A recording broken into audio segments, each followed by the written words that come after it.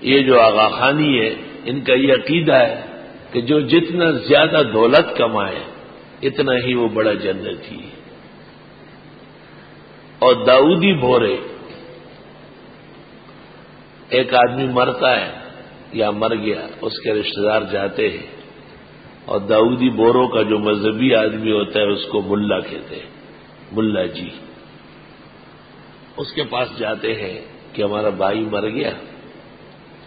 اور اس کے لیے جنت کا انتظام کرنا ہے۔ تو وہ پوچھتا ہے، تین قسم کی جنت ہے صرف دو کمرے، برانڈا۔ اس کے ساتھ ٹہلنے کی جگہ نہیں ہے۔ فریج ہے، ڈی فریزر نہیں دوسرا، دوسری جنت۔ تین، چار کمرے، اس کے ساتھ لان بھی ہے۔ اندر فریج رکھا ہوا ہے، باہر ڈی فریزر بھی ہے۔ تیسری جنت، بہت بڑی، کراچی سے بھی بڑی۔ تو وہ پر کہتے ہیں کہ میں دس لاکھ لایا ہوں۔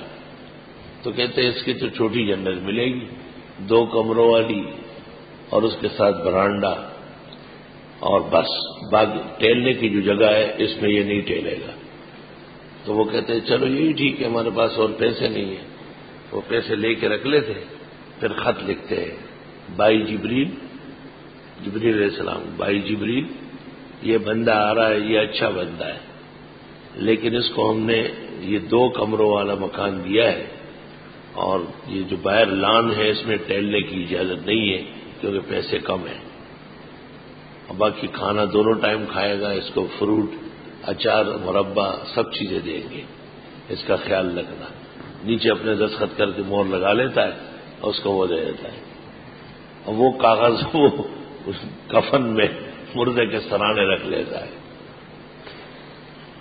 وغیر رہوں فی دین ماں کانو یفترو دھوکہ دیا ان کو دین کے بارے میں جو یہ گڑتے تھے۔